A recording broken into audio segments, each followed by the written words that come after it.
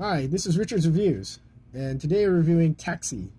Uh, this is the US version of the movie called Taxi. Uh, the original is actually a French movie, which was very funny. Um, this is a remake with Jimmy Fallon and Queen Latifah. I really wanted to like this movie, but the jokes were just badly executed. I wish they had just remade the original, like uh, remade it just like the original actually, so it was closely like it. I like the level of comedy in the from the original one. So the premise is that Jimmy's character cannot drive. Uh, he has an issue driving, and so he, as he's trying to capture some um,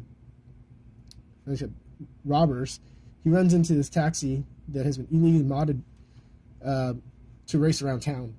Uh, the taxi driver is Queen Latifah.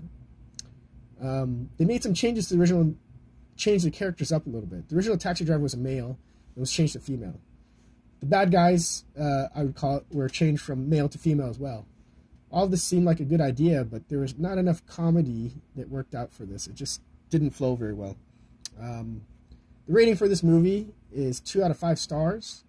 Uh, it's not really one of Jimmy's better movies, I guess. I mean, he's made very many. Um, but, uh, you know, if you kind of like the, the actors in this movie, then uh, give it a watch.